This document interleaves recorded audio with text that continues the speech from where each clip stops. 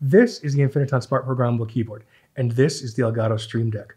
Both of them are nearly identical LCD programmable keyboards with 15 keys with 72 by 72 pixel screens on them. They both cost $150, but you should buy one of them over the other. Why is that? When I say these two devices are nearly identical, I mean it. Internally, they're both running the exact same screen.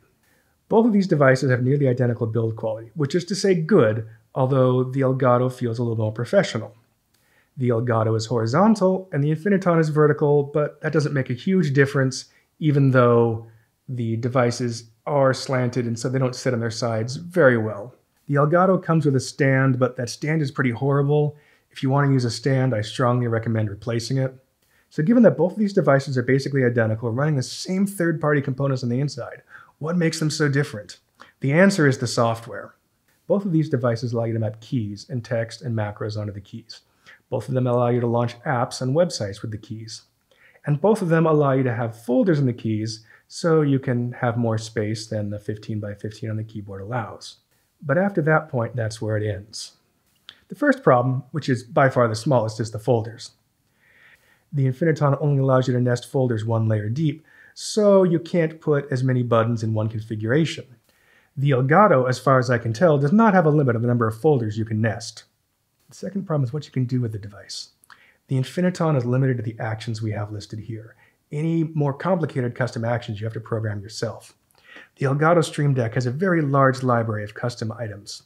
Many of these actions are designed to help streamers use applications such as OBS, Streamlabs, and XSplit, or to interact with Twitch or YouTube. Additionally, the Stream Deck now has an SDK. And with this SDK, there are more and more actions coming.